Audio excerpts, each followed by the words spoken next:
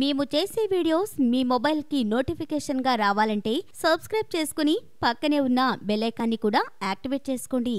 రోజు గుప్పెడు వాల్నట్స్ పలుకులు తింటే మెదడు ఆరోగ్యానికి ఎంతో మేలు చేస్తుందని న్యూట్రిషన్లు అంటున్నారు.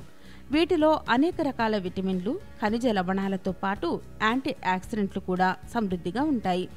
ఇందులో ఉండే ఒమేగా త్రీ ఫ్యాటీ యాసిడ్ హృదయ మెదడు ఆరోగ్యానికి ప్రయోజనకారి.